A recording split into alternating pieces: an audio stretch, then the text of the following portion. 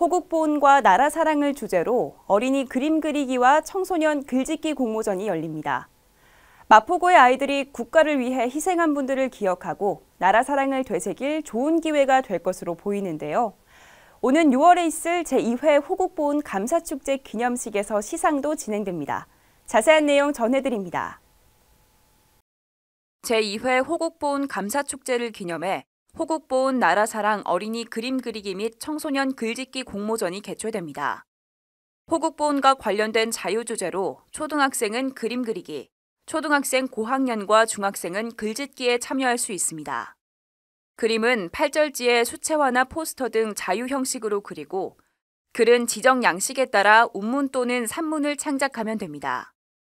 접수 기간은 오는 8일부터 26일까지며 제출 방법 및 서식 등 자세한 사항은 마포구청 누리집 내 공지사항을 참고하면 됩니다.